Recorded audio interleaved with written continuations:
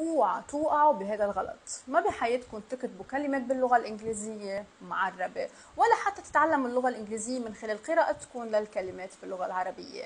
لأنه مثل ما نحن عنا باللغة العربية أحرف مثل صاد ضاد ط ما في منا باللغة الإنجليزية نفس الشيء عنا باللغة الإنجليزية. في أحرف منا موجودة بلغتنا العربية مثل أحرف P V. يعني ناخذ مثل كلمة brave. إذا بدنا نقراها من العربي أو بدنا نكتبها بالعربي رح نكتبها جدا غلط حتنكتب كأنها brief. أو مثلا إذا بدنا ناخذ كلمة pencil إذا بدنا نقراها من اللغة العربية رح تصير pencil.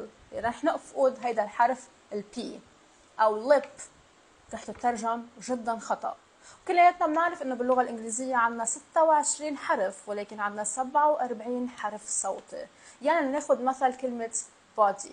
إذا بدي أقراها من العربي أو بدي أكتبها بالعربي رح تصير بودي هذا الحرف الآ يلي بالأو حرف الأو رح يفقد قيمته. لهيك ما توقعوا بهذا الغلط هو ما تكتبوه باللغة العربية الكلمات الإنجليزية لأنه إذا تعلمتوا اللفظ من الأول غلط كتير صعب عليكم تصلحوه بعدين.